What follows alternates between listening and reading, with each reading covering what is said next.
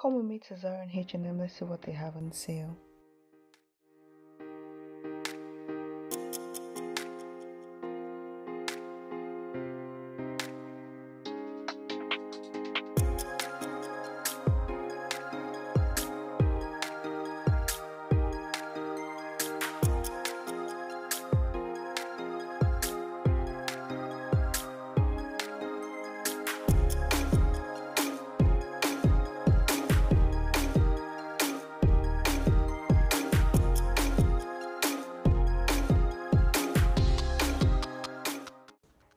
They had so many lovely items i just i couldn't make up my mind so i packed everything i could. As you can see my hands are just full.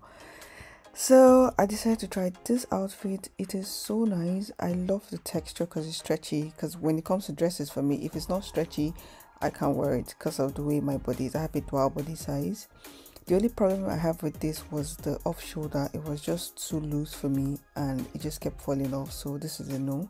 This dress was 22 pound but i don't know. What do you guys think? Do you like it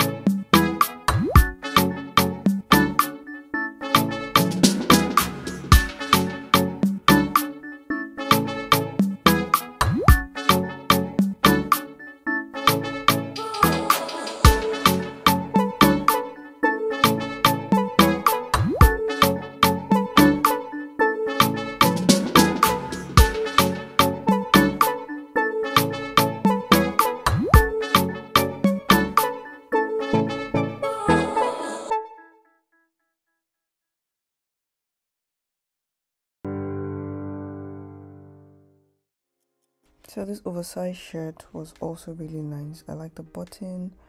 Um, I like the stripe design. But then I don't know. When I tried it on, it didn't look like how I thought it would have looked like. You know, I always have a mental image of how every outfit should look before I buy it. But this one, there was just something about it. Maybe it was the sleeve or the color. I, I just don't know. But it wasn't just doing it for me but yeah it was for five pound 99 which was an absolute steal because the texture of the fabric was really good.